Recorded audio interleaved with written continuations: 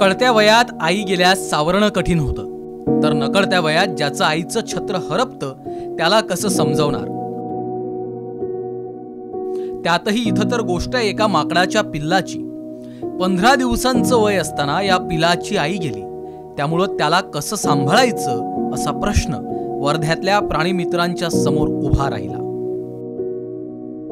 तर समृद्धी महामार्गावर एक हृदय पेटाळून टाकणारी घटना जी आहे ती घडली होती. एक वानर आणि तिच्या पिल्लाचा जबर अपघात जो आहे तो त्या महामार्गावर झाला होता. आणि ओडिसावरून नाशिकला जाणारी एक ॲम्ब्युलन्स होती. तिच्या समोर हा अपघात घडला.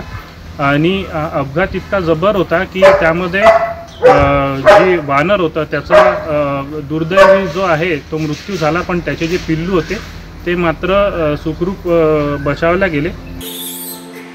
त्या पिल्लाला आई मिळवून देण्यासाठी प्राणीमित्रांनी एक शक्कल लढवली. टेडीबियर म्हणजेच खेळण्यातलं मोठं बाहुलं या पिल्लाच्या जवळ ठेवलं.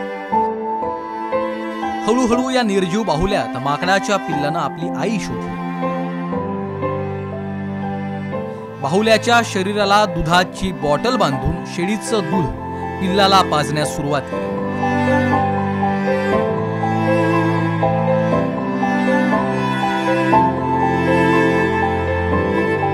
दिवसेंदिवस माकडाचं पिल्लू आणि टेडी बिअर यांच्यातलं नातं घट्ट झालं.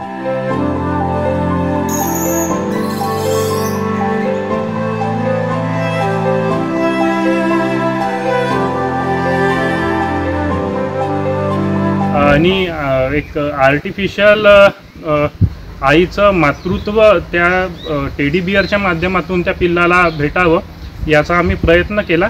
आणि पुढील सहा ते सात महिन्यानंतर त्याला जंगलात कोणत्या पद्धतीने सोडायचं याचासुद्धा आम्ही त्या ठिकाणी प्रयत्न करणार आहोत. या पिलाच्या निरागस चेहऱ्याकडे पाहून कुणाचंही मन हेलावून जाईल. त्याला भरले ही खरी आई मिळवून देणं आता शक्य नसलं तरी या भूतदयेनं त्याला जगवून दाखवलंय. ही भूतदया माणसात वाढत जावो हीच अपेक्षा. Chetan Vyas Saam TV news Wardha.